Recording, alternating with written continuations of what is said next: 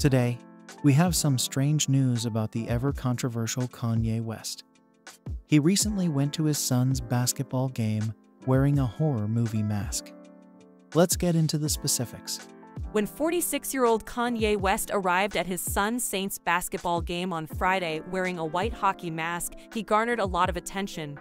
The rapper boldly flaunted the facial gear along with a black leather jacket, matching black rubber gloves, and light gray wash pants when he was spotted strolling through the Los Angeles, California game area.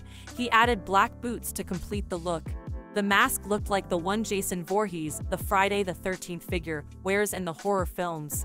Following his recent media attention-grabbing appearance at Travis Scott's Circus Maximus tour event in Orlando, Florida earlier last week, Kanye is now touring in support of his eight-year-old kid, wearing the same hockey mask.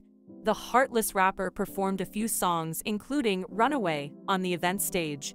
He also covered his face at a family meal at Nobu Restaurant in Malibu, California, prior to the event, which he attended with his ex Kim Kardashian, his 10 year old daughter North, and other family members. He was dressed largely in black, just like he did at Saint's basketball game. His black leather jacket, black rubber boots, and dark wash trousers were all part of his outfit. He was seen leaving the eatery with his black, permeable mask still on over his head.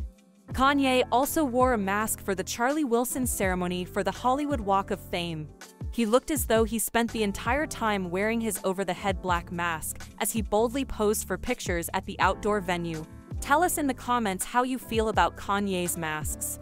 Don't forget to like the video and subscribe to the channel for more updates on what's happening with your favorite stars.